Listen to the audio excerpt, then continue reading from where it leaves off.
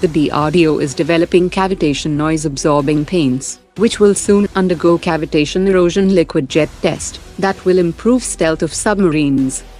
The DRDO is looking for Indian firms for transferring the technology of oxidation-resistant coatings for long-duration hypersonic cruise missile that will be useful in high-temperature conditions of 1100 degrees Celsius, where materials start to get oxidized.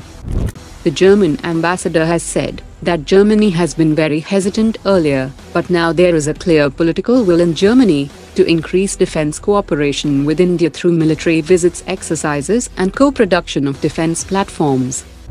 The first edition of the Naval Commanders Conference of 2024 will start tomorrow, during which the Defense Minister will witness both aircraft carriers conducting twin carrier operations.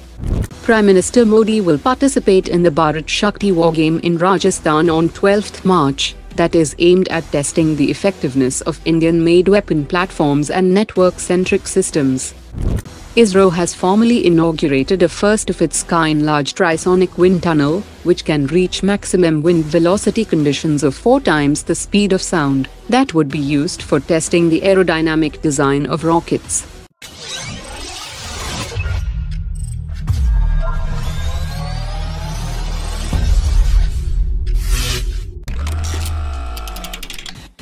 Chinese media has reported that during a simulated combat exercise, the Chinese J-20 5th generation fighter jet brought down 17 enemy fighter jets, without suffering a single loss to itself.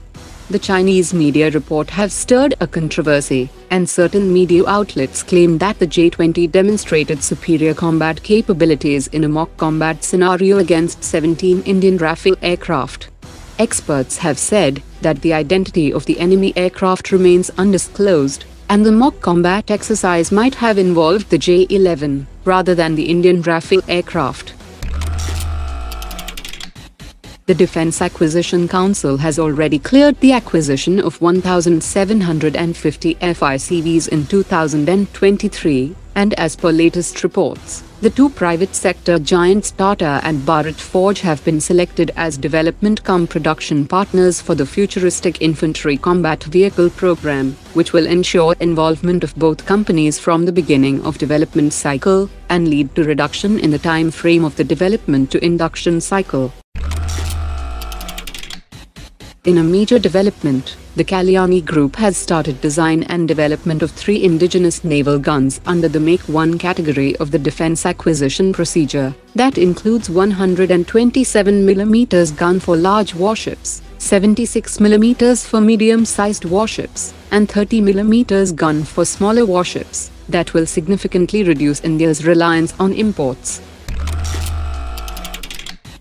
The CEO of Adani Defense has said that Adani Defense has expressed interest in the 111 Naval Utility Helicopter program that will be manufactured in India based on technology provided by a foreign original equipment manufacturer under the Strategic Partnership Framework.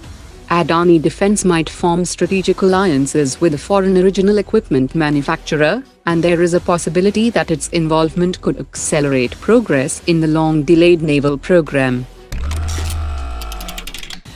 Foreign media has reported that Argentina was firm on procuring 24 Danish F-16 by end of 2023, but latest reports indicate that a second player seems to be regaining its positions again. Argentina's initial enthusiasm towards F-16 has disappeared, despite the bold offer of AIM-120 AMRAAM air-to-air missiles and joint direct attack munition.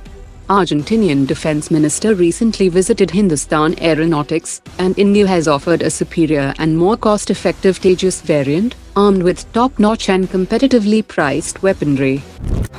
Today's top 3 comments.